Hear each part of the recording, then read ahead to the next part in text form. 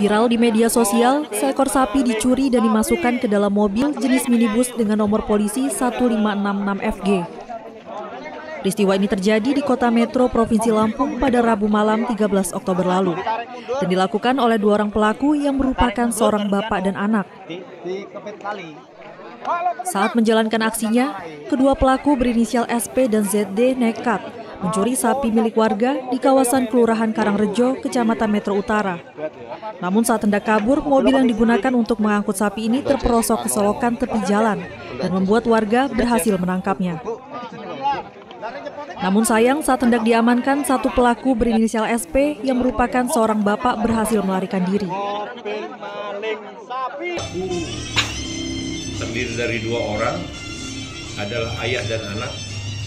Ayahnya langsung kabur, itu juga dilakukan pengejaran sampai ke arah e, Pekalongan, Lampung Timur. Sementara sang anak langsung dipegang pada saat itu dan tidak melakukan perlawanan, diamankan oleh tekap kita. Saat itu juga ketika dibuka mobil memang berisi sapi yang dicuri.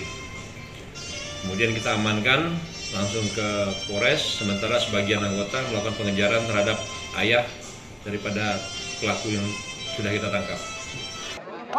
Untuk mempertanggungjawabkan perbuatannya, pelaku dijerat dengan pasal 363 KUHP dengan maksimal 7 tahun penjara.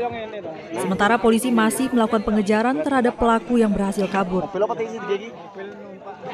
Roma Afia Idam, Kompas TV, Lampung.